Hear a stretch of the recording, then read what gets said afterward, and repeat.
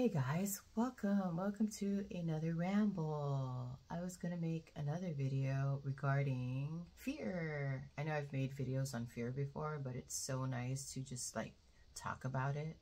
You know, I feel like, um, I think there's a saying, something about, you know, you should do at least one thing a day that you're afraid of. I absolutely subscribe to that. Um, I feel like I've in previous videos, I've made videos on fear, and I feel like the response that most people get to fear is to like freeze or flight. Or um, there's another way that people deal with fear, though. but I think the more common type is to like freeze or to like flee. but the thing is, when you do these things, you never grow. You just kind of stay in place you know, like for me, I think I've stated in previous videos when I'm afraid of something, I actually get excited because I know that transformation is around the corner. You know, it's just like, okay, something has presented itself to me. I am absolutely afraid. Um, and like sometimes I might even kind of retract a little, but then I use that as almost like um, the point where you're like a spring or an arrow where you're gonna like you're about to like fly forward and towards the fear? Yes. And for me it's sorry i have a i have a tendency to fiddle and stuff. I don't know why. But um maybe it's my nerves but i have a tendency to like i don't know. For me it's like do things that i'm afraid of um, and I think what propels me is my curiosity and also like, yeah, I just want to know what's going to happen. You know, I might, I might fail, but I might also like learn something extraordinary, you know, extraordinary where it'll like push me into like a whole new, like, I want to say level of awareness, you know, and what's more exciting than that, you know? So yeah, feel the fear, do it anyway, and try to do at least one thing a day that that makes you afraid. I feel like the more you do it, it's like anything, you know, it's like the more you like work something or you practice something, then it kind of loses its grip on you and then it becomes easier, you know? So like um I don't know, like people are afraid to like try new things. Not me. I'm like I'm for it you know just just sheerly out of um to fulfill my curiosity. You know like i don't know like so, it can be extreme you know some people like for instance they're like they're like um say like they go to a restaurant and there's a new item on the menu. They're like oh i don't want to try that you know i might not like it and i'm just going to stick to what's familiar because you know i already know the end result to that you know? For me i'm like oh my gosh i haven't tried that yet. I want to try it just to try it you know? Um of course i don't know. I feel like this just kind of for me anyway falls into the arena of it's weird. Like with relationships like as far as like acquiring more people in my inner circle, I probably don't do that. I'm very selective, I'm very picky, I'm very particular, just because I know that, you know, depending on who you allow into your inner sanctum, that could wreak chaos on your like well-being in your life but as far as like life experiences like different foods and different sceneries and different like activities like um creating something or like I don't know, just stuff like that. I'm like 1000% in. I love it. You know? Like for instance, a good example, like jumping out of a plane. Most people won't do it, right?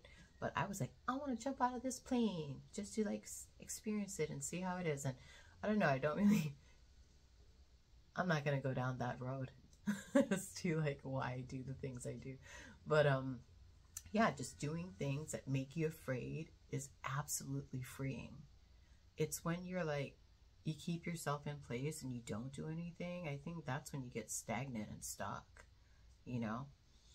Um, yeah, if you want to like new jobs, you know, new new things, new foods, new new stuff. Oh yeah, and when it comes to like accumulating more things, that's probably where I I won't do that too, you know? Like I cuz I'm trying to be more of a minimalist. I I want less things around me. So like like I know most people like they uh, subscribe to like consumerism and they'll just like buy like a whole bunch of stuff they really don't need just to like have them and experience them like i'm not into that yeah so friends and material attainment i'm kind of not into it like i'll buy something if it's practical and useful you know and if it serves a purpose but i'm not just gonna like buy a bunch of stuff just to buy it you know what i'm saying um, what else was I going to say on this? Oh, I feel like the number one thing that people are afraid of is rejection. And let me tell you how I deal with it. So, like, when it comes to rejection, dude, I don't even care. I feel like re- rejection, I feel like you've heard this before. Rejection is God's protection, rejection is redirection um, rejection for self reflection. that's what I that's what I think about rejection. You know, and I just feel like, you know, you may not be everyone's cup of tea and they certainly don't have to drink and it's not personal. It's not personal. And like I said, I feel like people have expectations in their head, you know, that kind of prevents them from like like doing things that they're afraid of because they're like, I don't want to be rejected. You know, it's going to like, it's going to absolutely decimate my ego and I don't like that feeling. And for me, I'm just like, dude, I don't care if people reject me. I've been rejected for most of my life. So it's kind of like fear, you know, it's just like when you encounter something over and over and over and over, oh my gosh, you're like, hmm, I want to say you're your ability to deal with these things are like pretty simple, you know? So like for me, like rejection, I just, I don't know, like seriously, I don't care. Like if somebody, like for instance, if I apply for like jobs and they reject me, I don't really get bummed about it. I just take it as like, oh, okay, I guess I wasn't the right fit. And the universe is probably steering me towards something that is a better fit, you know? Same with like relationships, same with like things just not working out, things just falling apart. I just kind of look at that and go, okay. And then I just move on. yeah. Yeah, I don't know if everybody else operates the same way or in a similar way, but seriously, like when I see people get like butthurt about rejection, I don't know, like there's a part of me and like I said, I think we are multifaceted beings. So yeah, there's a part of me that might feel like sad for them, but then there's also a part of me that is so like well versed in the subject matter that I'm just like, you know, like rejection is redirection. There's probably something better out there for you, you know? This probably wasn't it, you know, like and by you taking it personally, you're inflicting a lot of harm on yourself emotionally and mentally when, you know, it just isn't it. Like, I had this one situation where, like, okay, this is like a stupid story, but I feel inclined to tell you.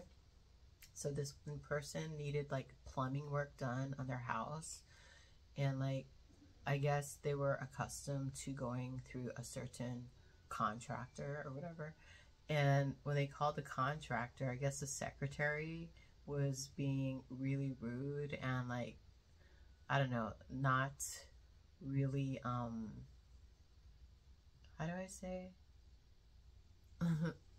Whatever. The, the, the secretary was giving off this like strange vibe that wasn't like aligning with what my friend wanted.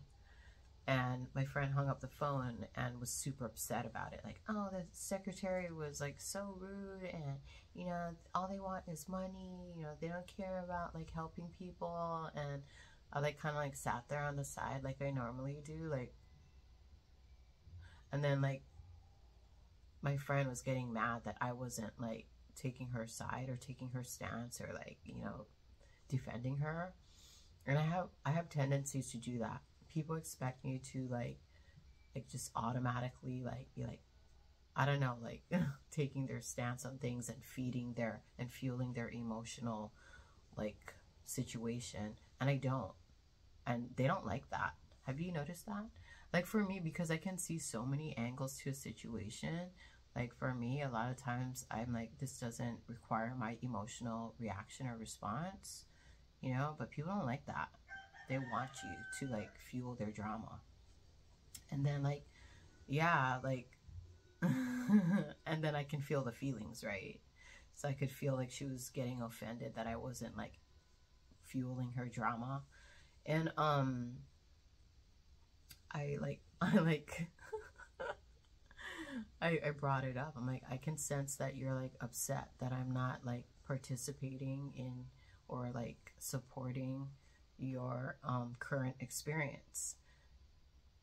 And they're like, yeah, I mean, you, I mean, why aren't you upset? And I'm like, I don't know. Like for me, I would just be like, okay, that's not working out for me. I, I'll just go find another plumber.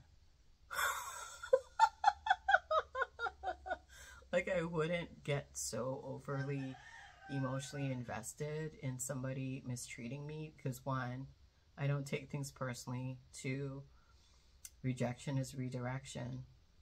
Um, three, I accept things, I radically accept things as it is, as it presents itself in the moment, you know, and I just probably would just call someone else. you know what I mean? I don't know. Um, and yeah, I don't have like um, attachment to outcome and I don't have expectations. So like for me, like I just wouldn't really fuel that situation emotionally because I need that. I need that fuel for myself. no, people get so ticked off when you don't take their side. And like for me, I don't take people's sides because I can see like different angles of the story and, then I also can sense what requires my energy and what doesn't. You know, if it's if it doesn't make if it's nonsense, I just or dramatic, I just don't really feed it anymore. I like I said, the version of me 10 years ago probably would have fueled that just because I was seeking acceptance, you know, and stuff. But now I'm just like, dude, I don't even care if people accept me. But the most important thing is I accept myself, that you accept yourself because you are the most important person.